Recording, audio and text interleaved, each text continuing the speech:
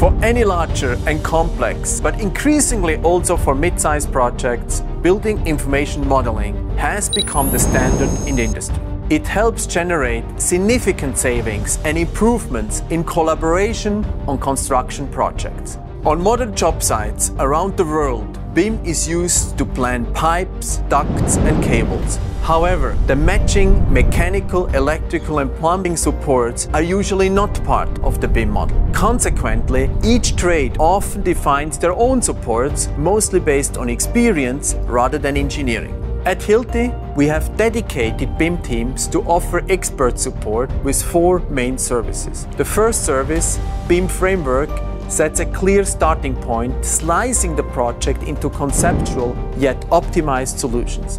This framework service provides a baseline for further BIM services. We then offer a second set of services, BIM Design Core and Design Specifics. They evolve the concepts into designed solutions, defined by individual bill of materials and engineering reports.